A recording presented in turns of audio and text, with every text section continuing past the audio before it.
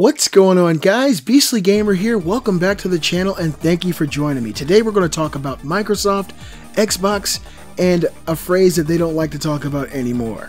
TV.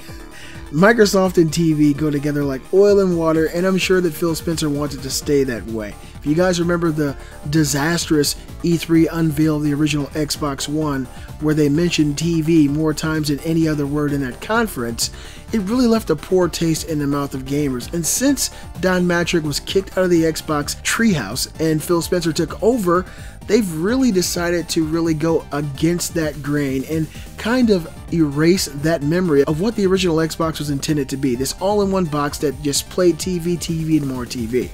Microsoft has Microsoft has been rumored to be revealing an Xbox TV device, and they actually were supposed to unveil it at E3 this year. But it sounds like this thing might be totally cancelled, and if it is, I completely understand why. I'll drop a link in the description.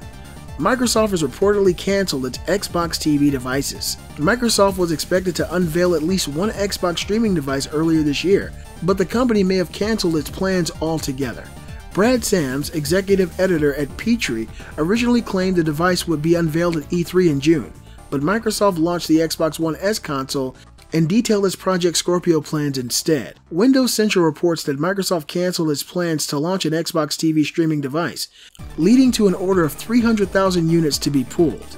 The device was reportedly a streaming stick that would debut with a $99 price point and codenamed Project Hobart. It's not clear what led Microsoft to cancel its plans, but the software giant has previously shelved devices at the last minute. Microsoft CEO Satya Nadella reportedly canceled the Surface Mini just weeks before it was supposed to debut at an event in New York City. Microsoft unveiled the Surface Pro 3 instead, with no mention of a Surface Mini.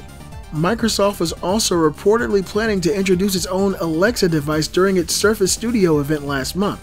Windows Central originally reported that Microsoft had an Amazon Echo competitor ready to unveil on October 26 with Cortana built in.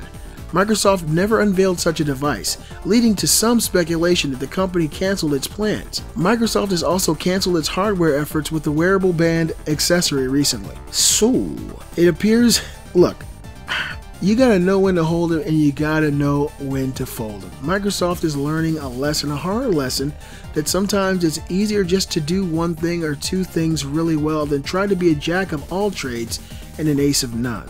That's a lesson they may have learned from Sony. Sony has tried every single. I'm surprised Sony doesn't have a candy bar in your local grocery store. They tried everything and failed at so many things. They put in so much effort in computers and TVs and phones, and all this stuff has failed. And hopefully, Microsoft is learning from that. The whole stigma of Xbox and TV just does not go well together. Gamers at home who aren't PC gamers enjoy having a dedicated console that also streams Netflix, YouTube, Hulu, and HBO Go, things like this. But nobody with a gaming console, or very few people, I would speculate, use it primarily for TV, unless it's a secondary gaming console like the Nintendo Wii U. So, way to go, Microsoft. You may have dodged a bullet here. I think that the Xbox brand needs to stay as far away from TV as imaginable. But you guys let me know what you think in the comments below. Do you think that Microsoft should try other avenues of generating income? Or do you think that their smartest avenues are games and windows?